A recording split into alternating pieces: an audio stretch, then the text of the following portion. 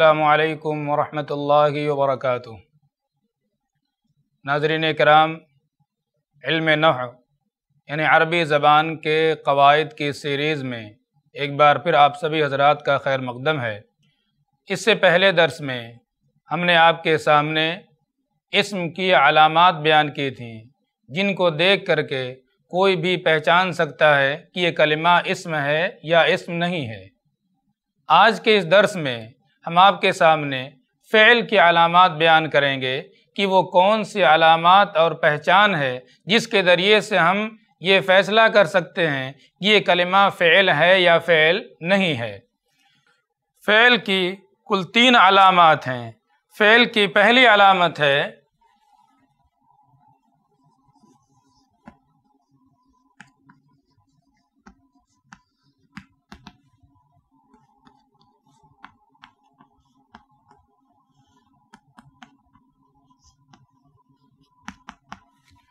फ़ैल की पहली अलामत है ताए तानी साकिना, यानी गोलता जो साकिन हो, वो ता जो फ़ेल माजी के आखिर में लगती है, ताए तानी साकिना, ये फ़ेल की अलामत है। और फ़ेल में से भी ये फ़ेल माजी की अलामत है। अगर कोई कलमा है जिसके आखिर में ताए तानी साकिना लगती है तो देख करके समझ जाएँ कि ये कलमा फ़ेल है, इसमें हर्फ नहीं हो सकता।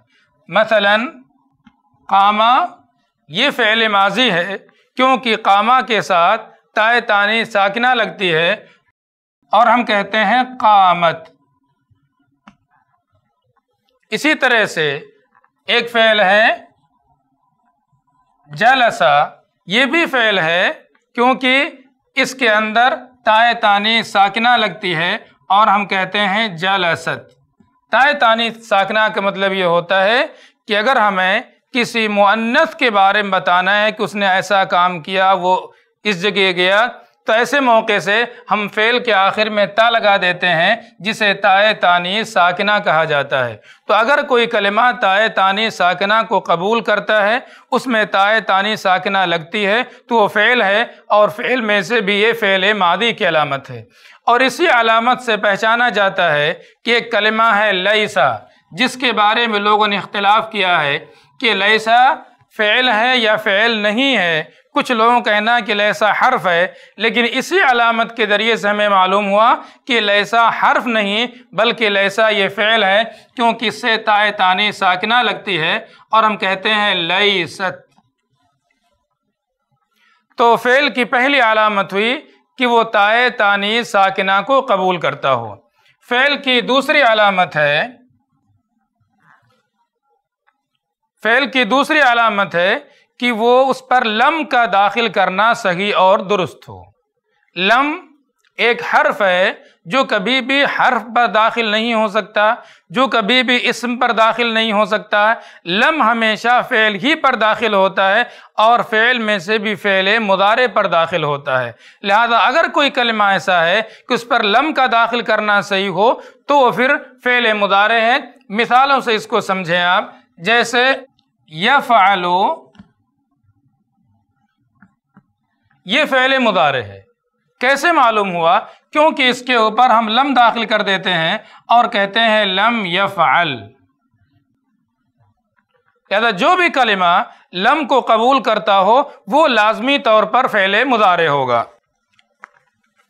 इसी तरह से एक फ़ेल है, यदहबू। ये भी फ़ेल है और फ़ेल मुदारे है। कैसे? इसलिए कि ये लम को कबूल करता है और हम कहते हैं लम यजहब। तो ये फ़ेल की दूसरी अलामत और दूसरी पहचान हुई कि अगर कोई कलमा लम को कबूल करता हो और उस पर लम का दाखिल करना सही हो तो समझ जाएँ कि ये फ़ेल है और वो फ़ेल मुदारे है। फ़ेल की तीसरी अलामत है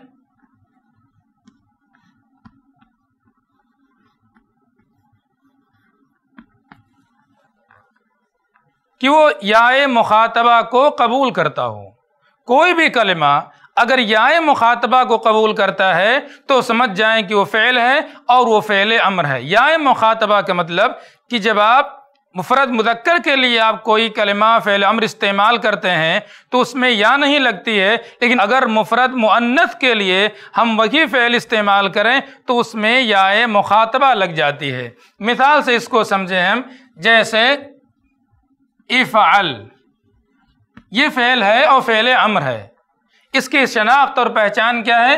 क्योंकि इससे या मुखातबा लगा करके इफ़ाली कहा जाता है। लिहाजा इफ़ाल ये फ़ैल अम्र है क्योंकि यह या मुखातबा को कबूल करता है। इसी तरह से इजहब ये भी फ़ैल है और फ़ैल अम्र है, क्योंकि इससे वाहिद मुन्नस हाजिर को जब ख़िताब करना हो तो या मुखातबा लगाते हैं और कहते हैं इजहबी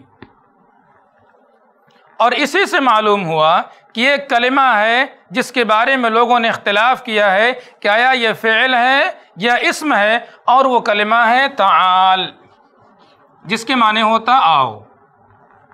ताल के माने आओ। इस कलिमा के बारे में कुछ लोगों ने इख्तलाफ किया है। कुछ लोगों का कहना यह है कि ये फ़ेल नहीं, बल्कि इसमें फ़ेल है। लेकिन सही यह है कि यह कलिमा फ़ेल है और फ़ेल अम्र है। क्यों? इसलिए कि या मुखातबा को कबूल करता है और हम कहते हैं ताल ताल लिहाजा ये फ़ेल की तीन अलामत हुई। एक तो ताए तानी साकना को कबूल करना दूसरे लम को कबूल करना और तीसरे या मुखातबा को कबूल करना। ताए तानी साकिना, ये फ़ैल मादी की अलामत है। लम, ये फ़ैल मुदारे की अलामत है। और या मुखातबा को कबूल करना, ये फ़ैल अम्र की अलामत है। तो इससे मैं मालूम हुआ कि फ़ैल की अलामत क्या हैं। अब इसके बाद आगे नंबर आता है, वो है कलमा की तीसरी किस्म, हर्फ की अलामत क्या हैं।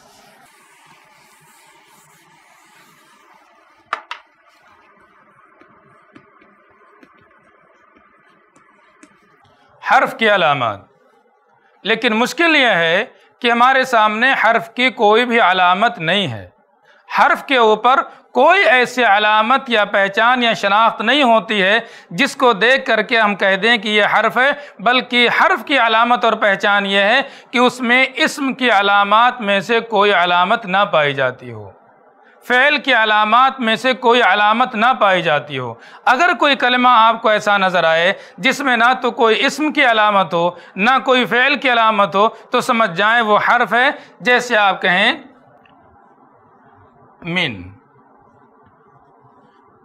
इला, सुम्मा, हल। मुख्तलिफ़ कलमात हैं सब। ये सारे कलमात इसमें ना तो कोई इसम की अलामत पाई जा रही है, ना इनमें से किसी पर अल दाखिल है, ना इनमें से किसी पर तनवीन आखिर में आई हुई है, ना इसमें से कोई मुनादा बन रहा है, न इसमें से किसी की तरफ़ इसनाद हो सकती है। लिहाजा इसम की जो अलामत होती हैं, उनमें से कोई भी अलामत इसके ऊपर नहीं पाई जाती है। जब फ़ेल की अलामत हम देखते हैं तो ना तो इसमें से कोई भी ताए तानीस साकना को कबूल करता है, ना इनमें से कोई लम को कबूल करता है, और ना इनमें से कोई या मुखातबा को कबूल करता है। तो चूँकि इनमें कोई भी अलामत ना तो इसम की पाई जाती है, ना तो फ़ैल की पाई जाती है। लिहाजा ये कलिमात सब के सब हर्फ हैं। लिहाजा हर्फ की अलामत और हर्फ की पहचान ये है कि उसमें इसम और फ़ेल के अलामत में से कोई भी अलामत ना पाई जाए।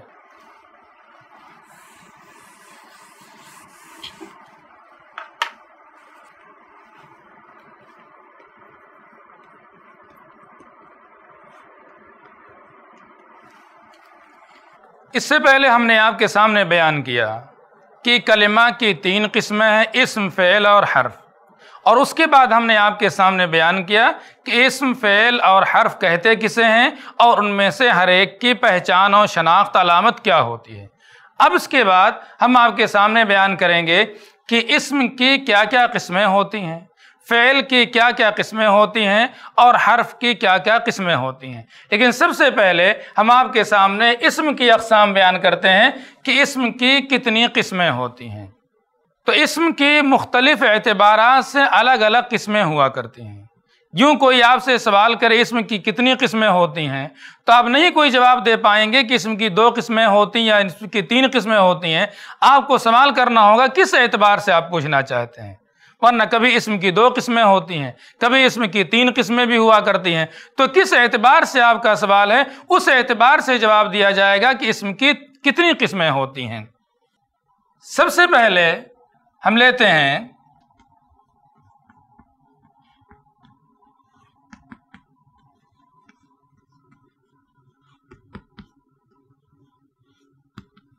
तदकीर तानीफ के एतबार से। जेंडर के एतबार से इसम की कितनी किस्में हैं? तो तदकीर तानीफ के एतबार से, जेंडर के एतबार से इसम की दो किस्में होती हैं। एक है मुजक्कर और दूसरे है मुअन्नस। इसम की दो किस्में हैं। एक इसम मुजक्कर होता है और एक इसम मुअन्नस होता है। अब उसके बाद हम देखते हैं दोनों की तारीफ़ कि मुदक्कर किसे कहते हैं? और मुन्नत किसे कहते हैं?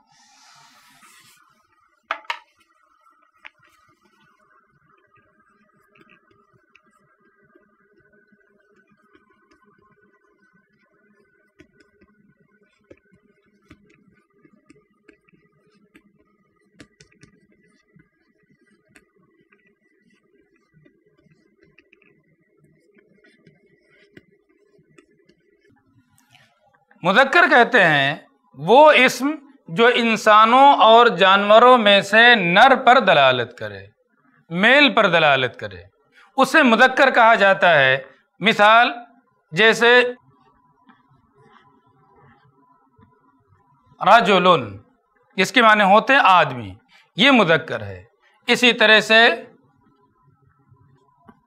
सौरन, बैल, ये मुदक्कर है।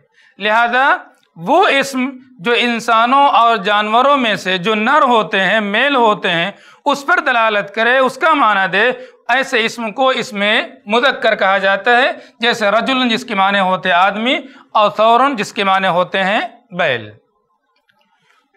इसके बाद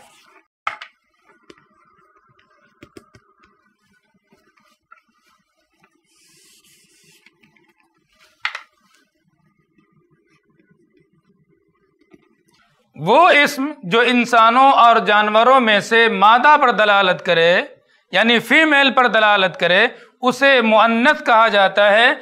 जैसे रजुल मुदक्कर है, लेकिन इमरातन जिसके माने होता औरत, ये मुन्नत है। सौरन, जिसके माने होता बैल, ये मुदक्कर लेकिन बकरतुन, जिसके माने होता गाय, ये मुन्नत है। तो इसम की इस तरह दो किस्में होती हैं। एक इसम मुजक्कर और एक इस मुन्नत और दोनों की मिसाल आपके सामने आ गई अब ये इसम की दो किस्में जो की जाती हैं, इसलिए की जाती हैं क्योंकि दोनों के इस्तेमाल में फ़र्क होता है। जब आप दोनों का इस्तेमाल करेंगे तो दोनों का इस्तेमाल अलग अलग तरह से होगा, जिसे मैं आपको मिसाल से समझाता हूँ।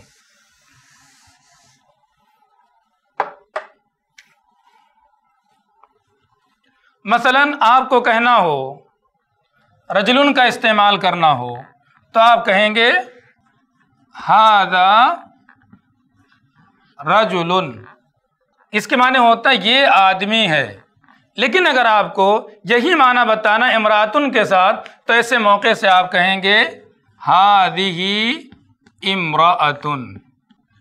इसके लिए, रजुल के लिए आपने हादा का इस्तेमाल किया, लेकिन जब इमरातुन का लफ्ज़ आया तो आपने उसके साथ हादही का इस्तेमाल किया। इसी तरह से आपने एक कलमा देखा सौर और एक कलमा बकरा। इनका इस्तेमाल करना हो।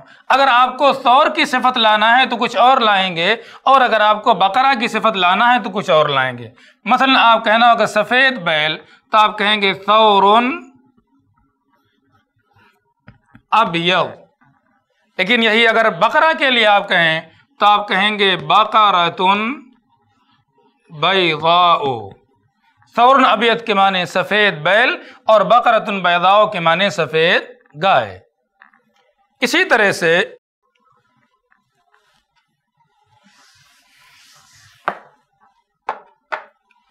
आप कहेंगे, हाफिजा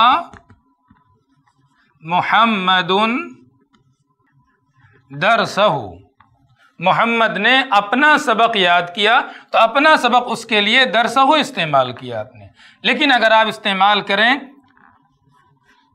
यही मुन्नस के लिए तो कहेंगे, हाफिजत फ़ातिमतो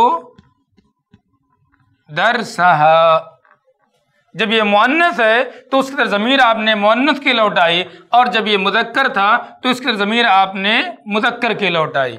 तो ये फ़र्क होता है कि मुदक्कर और मुन्नस दोनों के इस्तेमाल में फ़र्क होता है और ये इस्तेमाल में फ़र्क ख़ुद हमारी उर्दू ज़बान के अंदर भी मौजूद है। लिहाजा मुदक्कर के लिए आप कहते हैं, वो आया और मुन्नस के लिए कहते हैं, वो आई। तो इसी तरह इस्तेमाल में फ़र्क अरबी ज़बान के अंदर भी मौजूद है।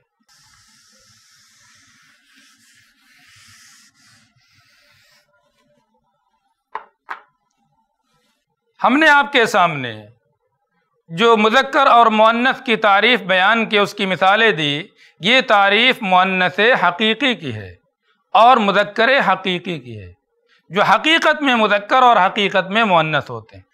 कुछ कलिमात ऐसे होते हैं, जो हकीकत में मुजक्कर या मुन्नस नहीं होते, वो नर या मादा नहीं होते हैं, बल्कि वो लफ्ज़ी तौर पर मुजक्कर या मुन्नस होते हैं। उनका लफ्ज़ मुजक्कर होता है या उनका लफ्ज़ मुन्नस होता है। हकीकत में वो मुजक्कर या मुन्नस नहीं हुआ करते हैं। तो लिहाजा ये मुजक्कर हकीकी और मुन्नस हकीकी की तारीफ़ हुई। अगर आप देखेंगे कि मुजक्कर लफ्ज़ी कौन सा होता है और मुजक्कर मुन्नस लफ्ज़ी कौन सा होता है तो इस एतबार से भी मुजक्कर और मुन्नस की दो किस्में हैं। मुजक्कर हकीकी और मुजक्कर लफ्ज़ी और मुन्नस हकीकी और मुन्नस लफ्ज़ी। मुन्नस लफ्ज़ी किसे कहते हैं?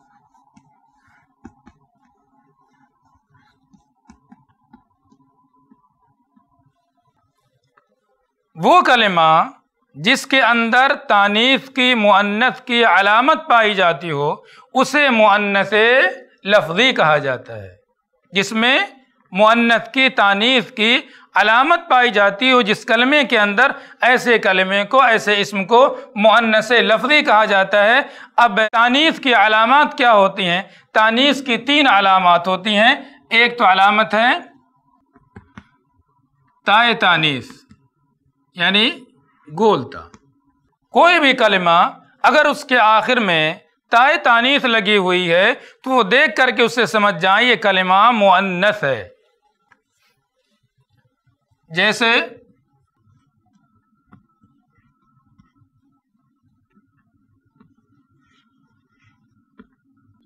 शजरतुन के माने दरख्त, गुलमतुन की माने तारीकी अब इन दोनों कलिमात के आखिर में ये ता लगी हुई है तानीफ की, शजरतुन के अंदर भी और जुलमतुन के अंदर भी, लिहाजा शजरतुन और जुलमतुन ये दोनों मुन्नस हैं, लेकिन ये मुन्नस हकीकी नहीं हैं कि ये नर हैं या मादा हैं, बल्कि ये लफ्ज़ी तौर पर मुन्नस हैं, इनका लफ्ज़ मुन्नस है, हकीकी तौर पर मुन्नस नहीं है। तो एक तो अलामत हुई ताए तानीस इसी तरह से मुन्नस की दूसरी अलामत होती है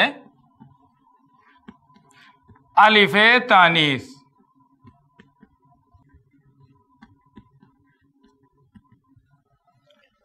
अलिफ तानीस मकसूरा। वो अलिफ तानीस जो खींच करके नहीं पढ़ी जाती है। जैसे रदवा एक पहाड़ का नाम है। रदवा इसके आखिर में देखेंगे आप अलिफ है, लेकिन ये अलिफ ऐसी जो खींच करके रदवा ओ नहीं पढ़ी जाती है, बल्कि इसे कसर के साथ पढ़ा जाता है, जिसे रदवा इसी तरह से कुबरा। तो ये दोनों कलिमात भी मुन्नस हैं, क्योंकि इनके आखिर में अलिफ तानीस मकसूरा लगी हुई है। मुन्नस की तीसरी अलामत होती है,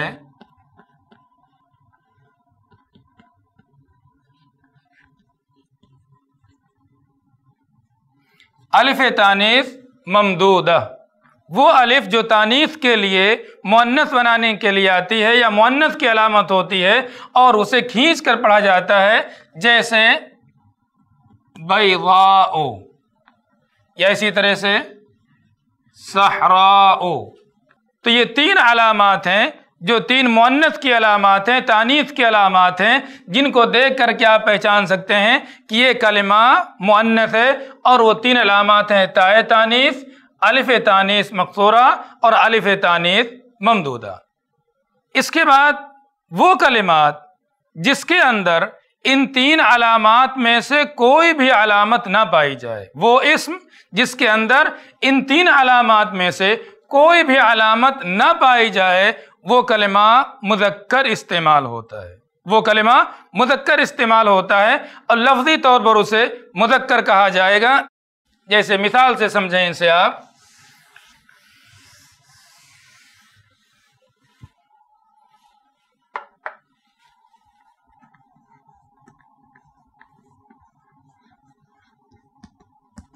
मुदक्कर लफ्जी, जिसके अंदर तानीफ की अलामत में से कोई भी अलामत न पाई जाए, जैसे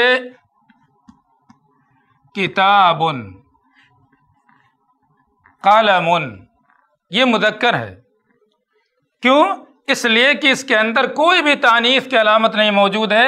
ना तो ताए तानीस है आखिर में, ना अलिफ तानीस मकसूरा है, ना अलिफ तानीस ममदूदा है। कोई भी अलामत इसमें से नहीं है। लिहाजा इसे हम लफ्ज़ मुदक्कर कहेंगे आप। ये और बात है कि आपकी ज़बान में, उर्दू ज़बान में कौन सा कलिमा किताब को आप मुन्नत इस्तेमाल करते हैं, लेकिन अरबी ज़बान के अंदर ये किताब मुन्नत नहीं, बल्कि मुदक्कर है, क्योंकि तानीस के अलामत में से कोई भी अलामत इसके अंदर नहीं पाई जाती है। तो आपने इससे पहले समझा कि वो इसम जो इंसानों और जानवरों में से नर पर दलालत करे, उसे मुदक्कर हकीकी, और वो इसम जो इंसानों या जानवरों में से मादा पर दलालत करे, उसे मुन्नत हकीकी कहा जाता है। लेकिन इनके अलावा जो हकीकत में मुदक्कर या मुन्नत नहीं होते, ऐसे कलिमात में, अगर किसी कलमे के अंदर तानीफ की अलामत में से कोई अलामत मौजूद है तो उसे मुन्नस लफ्ज़ी कहा जाता है, और अगर कोई भी अलामत मौजूद नहीं है तो उसे मुदक्कर लफ्ज़ी कहा जाता है। लेकिन यहाँ पर एक मसला और ज़रा सा समझने का है, और वो ये है कि बाज़ कलिमात ऐसे होते हैं कि जिनमें कोई भी तानीफ की अलामत नहीं होती है, लेकिन उसके बावजूद भी अरबों ने उसे मुन्नत इस्तेमाल किया है, जिसे मुन्नत समाई कहा जाता है। मुन्नत समाई, जिसके अंदर कोई भी तानीफ की अलामत नहीं है, लेकिन अरबों ने उसे मुन्नत इस्तेमाल किया है, मसलन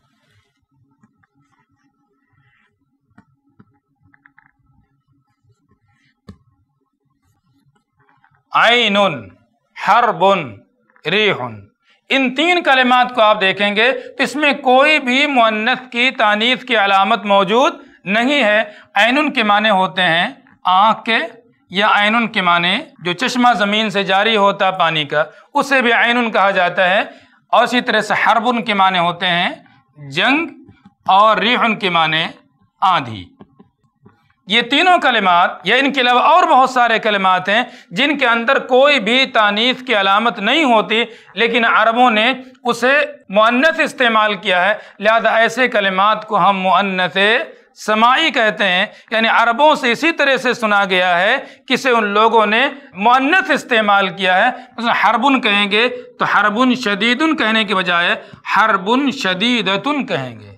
या इसी तरह से सख्त आंधी आई तो इसी तरह से रीहन शदीदतुन कहा जाएगा, शदीदुन नहीं कहा जाएगा। तो ये चंद बातें थी जो इसम की दो किस्मों के बारे में थी। जेंडर के एतबार से, जिन्स के एतबार से इसम की दो किस्में होती हैं, एक इसमें मुदक्कर और इसमें मुन्नस आज का दर्स यहीं पर ख़त्म होता है इन और दूसरे मसाइल, नौ के ताल्लुक़ से। इसम की किस्मों के ताल्लुक़ से आपके सामने बयान किए जाएँगे। असलकम वरहमल ऐसे ही और वीडियोस बनाने में हमारी मदद करें।